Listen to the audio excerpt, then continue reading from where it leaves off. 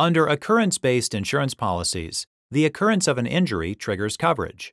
In in re silicone implant insurance coverage litigation, the court considered whether an event that leads to an injury triggers an occurrence policy if the injury doesn't manifest until after the policy expires.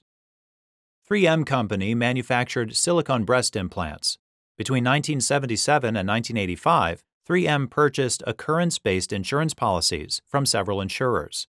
The policies covered 3M's costs related to bodily injury caused by 3M's products that occurred during the policy periods. In 1992, several implantees who had received 3M implants during the policy periods filed a class action against 3M. The implantees claimed that 3M's implants leaked silicone gel into their bodies and caused symptoms of autoimmune disease. 3M ultimately settled the class action suit and sought indemnification from its insurers. Thereafter, several of the insurers filed suit, seeking a declaration to clarify their obligations to indemnify 3M. The court held in 3M's favor, finding that although the implantee's symptoms didn't manifest until after the policies had expired, their injuries first occurred at or around the time of implantation and thus that implantation was the occurrence that triggered coverage.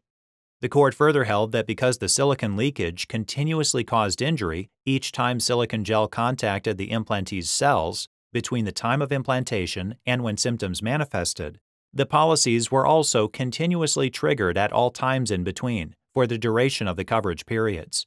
Accordingly, the district court ordered pro rata allocation of 3M's costs among all of the insurers the Minnesota Court of Appeals affirmed, and the insurers appealed to the Minnesota Supreme Court.